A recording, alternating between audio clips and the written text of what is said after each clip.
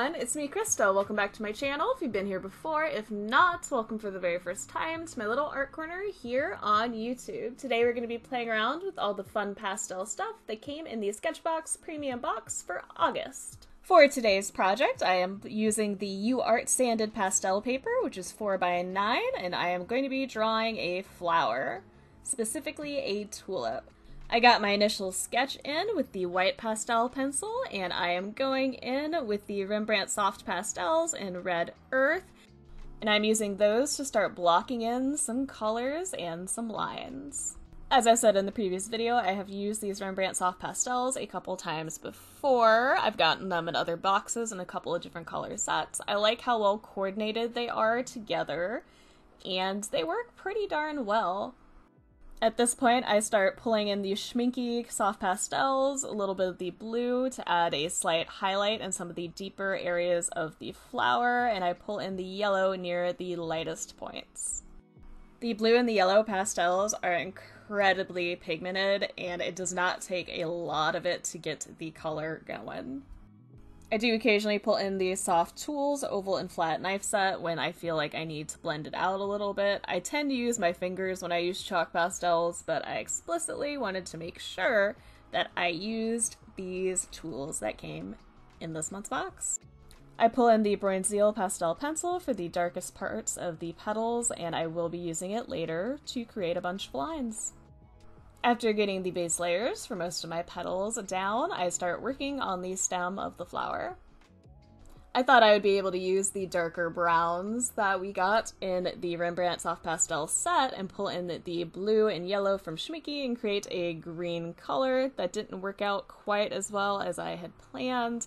I did want it to end up being much darker than I would have been able to get with the two Schmincke Soft Pastels.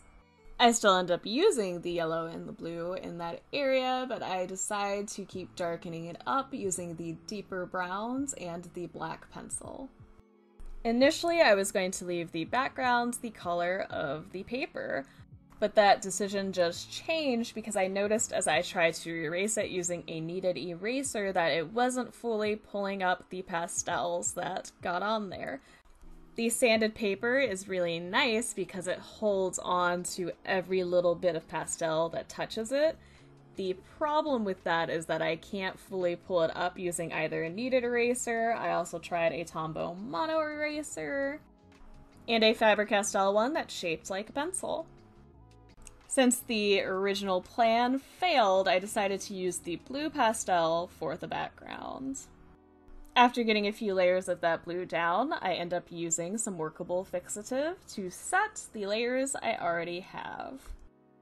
If you use workable fixative, make sure you are using it in a very well ventilated area, and you might want to wear a mask if you have any breathing issues.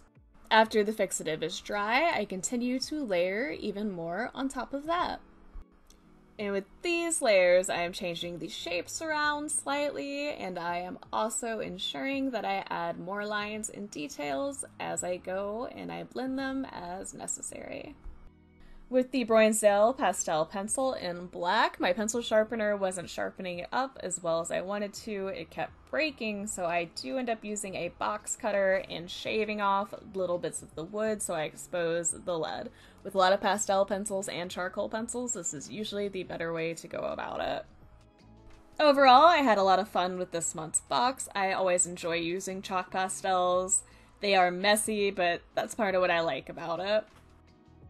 As usual, I enjoyed using the Rembrandt soft pastels. I also really liked the Schmincke soft pastels because of how pigmented they are. The two pastel pencils we got in this month's box are also nice. The sanded pastel paper was definitely a new experience. I enjoyed how well the pastel gripped and hung on to it.